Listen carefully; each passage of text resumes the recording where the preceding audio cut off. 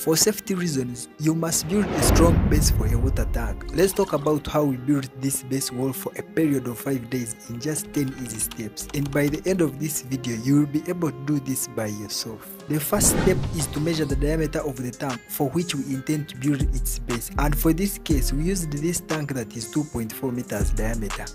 Step 2 is to set out the foundation for the base wall. The concept here is that we add extra 300 millimeters on top of the tank diameter. And since our tank is 2.4 meters diameter, we add extra 300 millimeters to make it 2.7. Therefore, our base wall will be of 2.7 meters diameter. Set out also for the cross walls to provide support to the circular wall. If you are setting out this tank base for a home, you may set it out anywhere to your favorite position, but when you are setting it out for communities, the tip here is that you have to set out the tank base 4 meters away from the main water distribution line and 3 meters away from the tap stand.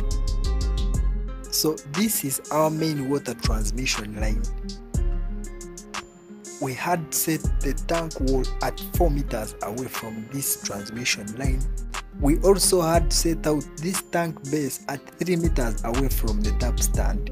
The third step is to do excavation. Excavate up to at least 300 millimeters below the ground. I made two examples at this stage for demonstration.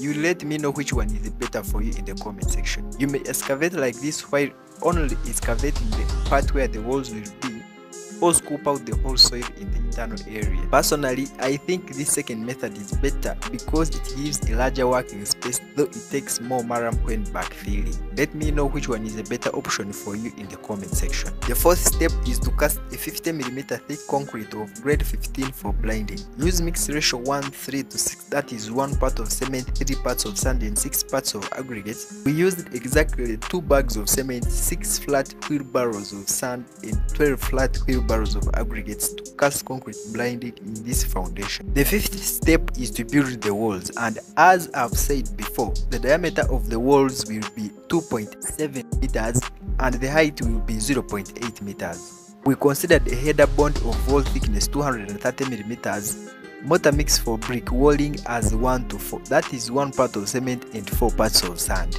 We used exactly 3 bags of cement to do brick walling here. I counted these bricks physically and we used 68 bricks for each course. Therefore for 8 courses that we built, we used a total of 544 bricks in the finished wall. So when ordering, it's up to you to add extras. The sixth step is to render the exterior part of the base wall and do backfilling. The render mix is 1 to 4, that is 1 part of cement and 4 parts of sand. Backfill with murram and compact properly. We used one bag of cement to render the exterior part. We used also exactly 1.1 cubic meters of murram. We used this truck to deliver material. The volume of this truck is 2.2 cubic meters, so we ordered half of it, meaning we used exactly 1.1 cubic meters of murram. The seventh step is to lay hardcore and do sand blinding. The quantity of hardcore that we used here was less. We just used half a cubic meter, which means we ordered a quarter truck. The tip here is that the hardcore should not exceed 200 mm thick. Here is what I mean. Considering the upper part of the wall to be stopping here, hardcore will be from this level 200 mm to below. The rest down will be filled with compacted murram. The eighth step is to lay DPC and BRC covering the entire area of the base wall on top of hardcore and also do some shuttering or formwork for top concrete. You may use plywood here or a flat metal sheet like this one to do formwork or anything that can be folded in circular form. The ninth step is to cast a 75mm thick concrete of grade 20. Use mix ratio 1 2 to 4 that is 1 part of cement, 2 parts of sand and 4 parts of aggregates. We use exactly 3 bags of cement to cast this concrete. After fully drying, render even the top part and apply rough cast to the exterior part of the wall. The 10th step which is the last step is to place your tank.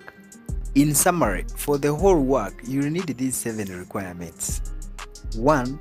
2.2 cubic meters of sand, that is this full truck. 544 bricks. 1.1 cubic meters of murram, that is half truck. 9 bags of cement. 1.1 cubic meters of aggregates, that is half truck, 0.5 cubic meters of hardcore that is quarter track and lastly DPM and BRC. Depending on the price of materials in your country, you may know exactly the price of the base wheel using the list of the materials above. That's the end of our today's video. I hope you get something from it. If you are really more interested in tank stands, be sure to watch this video on the left about how to a steel stand tank tower. All this video on the right about how to build concrete stands for GRP tanks. Endeavor to watch these two videos. Thank you so much for watching.